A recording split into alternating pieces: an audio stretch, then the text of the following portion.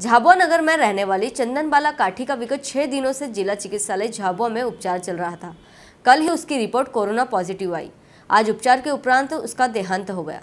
प्रातः 10 बजे उनकी देहांत की सूचना प्राप्त हुई। रोटरी क्लब के सदस्य संजय काठी व्यापारी संगठन के अध्यक्ष नीरज राठौड़, कमलेश पटेल से संपर्क किया गया, जिनके द्वारा शमशान में लकड़ी की व्यवस्था की गई।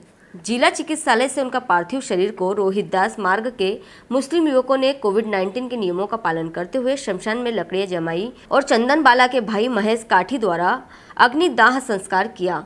मुस्लिम युवकों की इस अनूठी पहल से हर कोई उनकी प्रशंसा कर रहा है। झाबुआ से अल्बर्ट मंडोरिया की रिपोर्ट।